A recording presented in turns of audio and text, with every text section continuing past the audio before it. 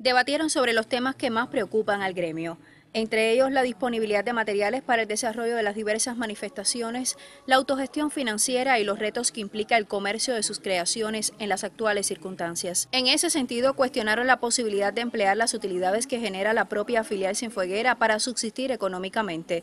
Al respecto, Roberto Ripoll Díaz, presidente nacional de la Asociación Cubana de Artesanos Artistas, explicó que aún no está creada la infraestructura para controlar tales ingresos y eso es una función que mantiene a su cargo el Fondo de Bienes Culturales como la unidad rectora. Reconoció el dirigente que es una legislación ya caduca que limita los aportes de los creadores en sus actividades.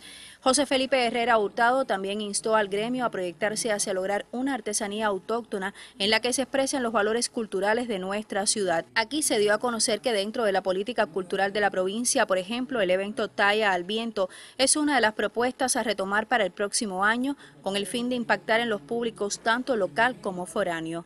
Como parte de la asamblea de balance correspondiente al último quinquenio de trabajo, fueron reconocidos los más destacados en sus desempeños, mientras se entregó la distinción Tureira a Erelia Capote Fuentes. Aquí eligieron a los precandidatos a miembros del Consejo Nacional, así como quedó constituida la nueva junta directiva de esta filial, donde se ratificó a José Felipe Herrera Hurtado en el liderazgo de los artesanos artistas Cienfuegueros. Mayelín del Sol, Notisur.